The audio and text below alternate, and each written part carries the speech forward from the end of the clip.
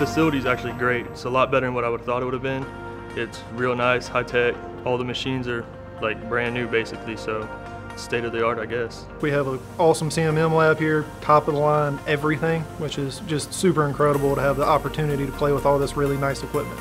It's wonderful. It is wonderful. I say all these new machines because they started us out. They showed us what the manual machines looked like before we got to the new machines, and it's a big change. it is a very big change because we have some guys that work on the milling on the uh, manual machine, and they see a difference too. They look at these machines and they're like, okay.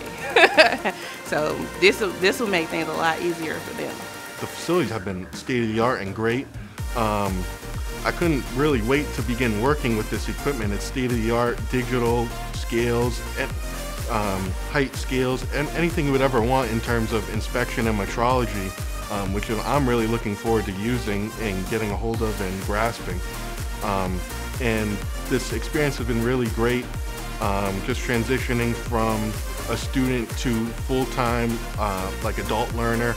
It's been great to really realize what else is out there in terms of education besides regular college.